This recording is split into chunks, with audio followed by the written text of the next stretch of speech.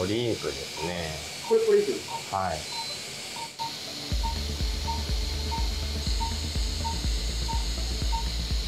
胃カメラ検査が終了した後すかさず大腸カメラの検査に移行する。じゃあ大腸カメラの検査ね。お願いします大腸ポリープに関してはもうものすごく頻度が高い病気だからまあ男女比とかはあんまりないですねあそまあ、どなたでもできちゃうはっきりとこういう食事してたら予防になるよっていうのはまあはっきりとしたデータないんですね。だまあ、ただ欧米の食事が多かったりとかうん。あとちょっと中性脂肪が高い方っていうのは印象としてはポリープできやすいかなって思いますね、あなるほど。まあ、ただそういう生活じゃなく痩せてる人で草食の人でもできるから。はい。まあ一番は定期的に検査することはやっぱ大事ですね。うん。なるほど。ではカメラ入りますよ。はい。大腸カメラ検査は初めに盲腸と呼ばれる場所まで挿入しそこからカメラを抜きながら確認していく。うんもう1線水上結晶ってとこに入ってえー、っと進んでいってまで入りますね盲腸までの到達時間は通常5分から10分。早いでそ医師こまで入る2分がから3分で到達する。まあ難しかったりするんですけど、まあ、今入りますね。はい。盲腸までの到達時間。驚異の1分。まあ、ここまで入れるまでの、まあ、なるべく痛くないように入れたりとかそこを進んでいく時に、まあ、入れ方によってやっぱり痛いですね。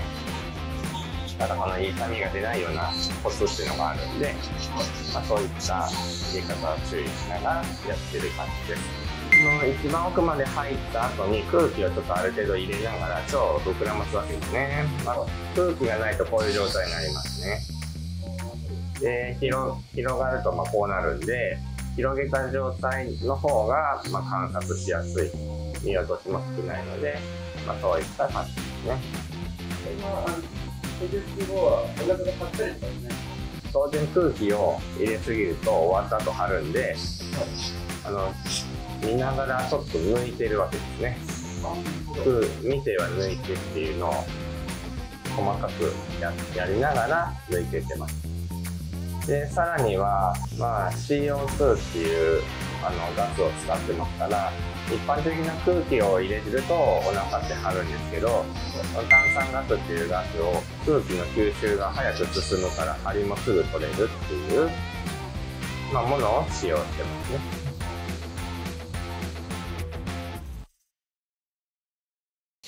今だいたい真ん中あたりの横行結晶ってとこまで戻ってきてますね。これは健康的な腸なんですかそうですね。今のところは何も問題ないですね、まあ、こうやって血管が透き通って見えてるのがね綺麗な腸ですね。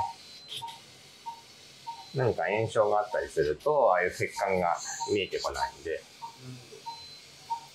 鈴木さん大丈夫ですか？寝てらっしゃいますかね？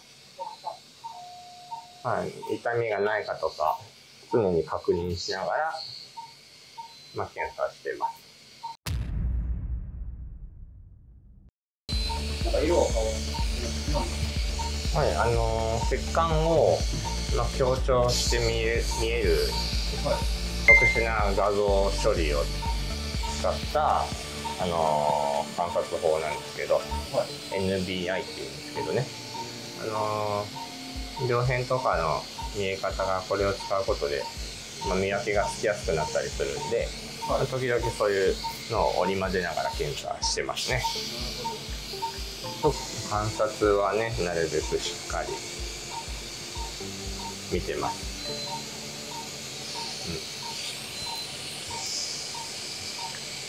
あこれは。オリーブですね。これポリープですかはい。直腸付近でポリープを発見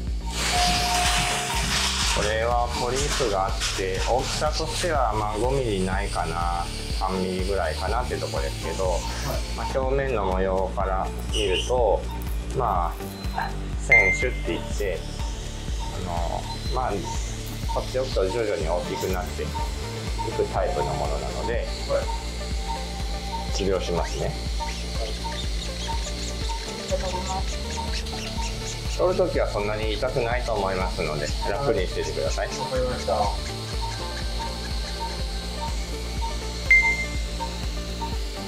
ゆっくり開いてください。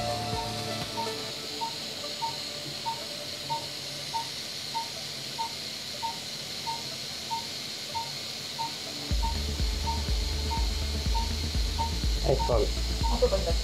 いいですよ。縛ってきてください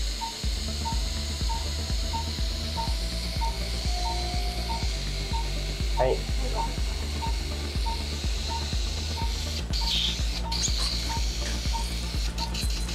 今ポリープを切除して、そうですね、直腸ですね。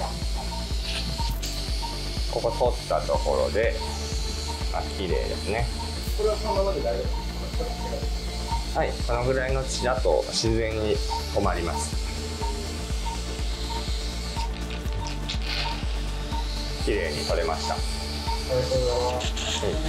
トリップ取った瞬間いかがですか何もなかったです。はい。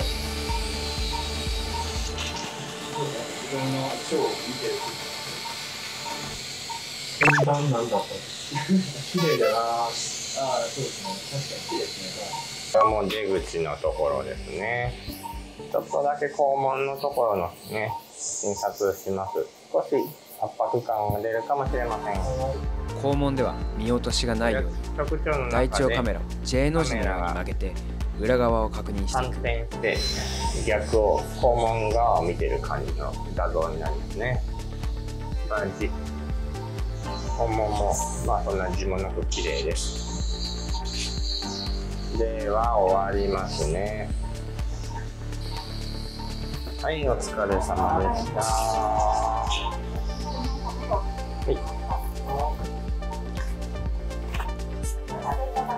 お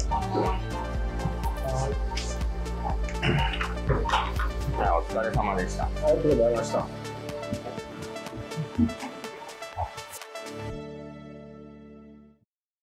この一番のカメラで見てるとかなり大きく見えるんですけどあれを拡大して見てるので実際はこんなにちっちゃいですね。実際に切除したポリープを見せてもらったはい、へえ、これ見つけられるんですね。大きく、ね、なってるのでカメラの時は。すぐに撮れるもんなんですか？いやうまいうまいです。多分他の先生見に行ったらまずあれ1分じゃ入んないです。まず10分かけて中入れてね。もう私たちも内視鏡のナースなので、はい。もうあ今日この先生が外れだなと思って。まあここだとないですけど常に先生なので。はままず中に入るのに10分かかりちょっと僕の中では聞きます。あ絶対ここ以上がね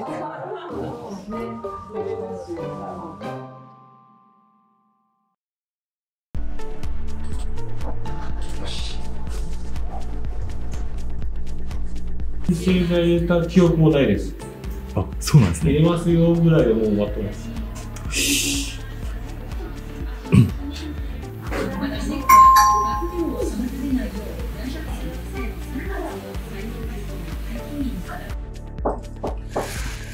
はい、どうぞ。はい、お疲れ様でした。ありがとうございました。はい。もう目は覚めてますか。はい、もう目覚めてます。はい。ありがとうございます。えーと、こちらが今日の写真ですね。はい、はい。まず胃カメラです。カメラ。これ喉通って食道ってとこですね。はいまあこの辺なんですけど、食道綺麗でしたあ、し、本当ですか？はい。十二指腸も問題ありません。よかったです。でこれ胃の中に戻ってきてはい見ているところで、あのすごく綺麗です。よかったです。はい。まあ、ちょっと小さいんで分かりにくいかもしれませんが、こういうのはポリープですね。はい。ポリープいくつかちっちゃいのがあって、異底線ポリープっていう名前のポリープで、はいあの放っておいてもがんにならないので、あ、そうなんですね。はい、切除とかする必要はありません。で続いて大腸カメラです。えーと、こうやって血管がですね、うっすら透き通で見えているのが綺麗な腸なんです。で基本的には綺麗だなという、まあ、印象だったんですが、はい。最後のこの直腸っていう出口の近くに、はいえーと、ポリープがあったんですね。あ、そう。はい。これですね。これ。はい。で近寄って、まあ、特殊な光使ったりして見てるとまあおそらく選手って言って、あの放っておくと大きくなって、まあ、場合によってはがんになったりする可能性のあるポリープだとまあ判断したんで、はい。まあ、切除しましたありがとうございます。でこの取ったポリープは回収してますはい。でこれはまあ傷跡も綺麗でまあこれは自然に収まっていきますんで、あはい。えっ、と、まあ、若干の食事、この後数日間はね、あの、注意がいりますけど、まあ、このぐらいの小さなポリープであれば、まあ、すぐ血が止まってるので、そんな心配いりません。じゃあ、これお渡しします、ね。はいありがとうございますはい。ありがとうございます。ありがとうございます。はい、どうもお疲れ様でした。はい、ありがとうございます。お疲れ様ですお疲れ様でした。なんかポリープが見つかったということでそうですね。はい前回し5、6年前に1回撮ったんですけど、はいまたできましたね。あーやっぱ定期的に来ないとちょっと危ないってことですねそうですね。私は年に1回来るようにはしてるので、あ年に1回来てるはい。年に1回には。なんか内視鏡のあの途中で起きられててよくいろいろお話しされてたんですけどいや、そんなことないです。はい覚えてないですよねそうですね。鎮静剤入れてるんで、はい話してないと思います。あ途中で起きてたじゃないですか本当ですか？あそそこまでないです記憶がない記憶ないです。記憶があるのは最後先生が内視鏡を抜くときに終わりましたよぐらいですね。その、排排便時に、まあ、出血してたとか、あとは、便秘が最近ひどくなったとか、あとは逆に最近便が細くなって緩い便しか出ませんでしたよっていう症状も、やっぱり大腸に何かしらできてないから心配になる症状なので、あの、大腸カメラをそういう方はやっぱりやった方がいいですし、まあ実際そういう方も多いね。大腸ポリープはおよそ40代から急速に増加し年齢が上がるごとにその数は増えていく60代になると2人に1人とも呼ばれているこの内視鏡検査っていうのはやっぱり昔、まあ、自分が研修医の時になった時も当然ちょっと苦しい検査だし痛い検査なんで、まあ、当然痛い検査って嫌なんじゃないですか。そうですねでだから自分も子供の頃大体病院行くと、まあ、注射したりとか何か喉を、まあ、その見たりしてとか痛い思いしかしてないから病院とか医者行くのってちょっと嫌なんですね。自分はその昔病院に小さい頃何回もかかったりしてたまあそんなに体が強い方じゃなかったもんですからその時からそのいなんで病院はこんな痛いことが多いんだろうと思ってすごく痛みに弱いんですね。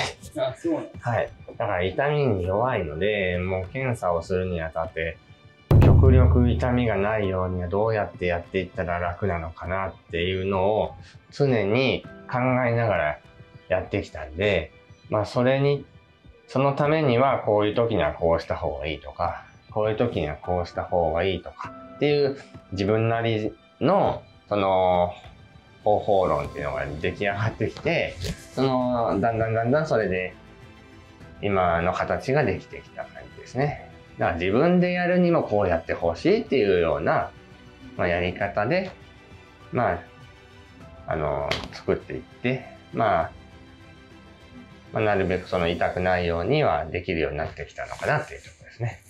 なるほどはいそういう先生のはい。子供の頃からの体験とかは？そうです、そうです。まあ痛く、痛いのが一番嫌なんで、そう医療行為っていうのは。はいはい。確かにそうですね、なんか貴重なお話ありがとうございましいえいえ。たなんかまた多分はい。密着をどこかでさせていただきたいわかりました。よろしくお願いしますはい。よろしくお願いします。ありがとうございましたはい。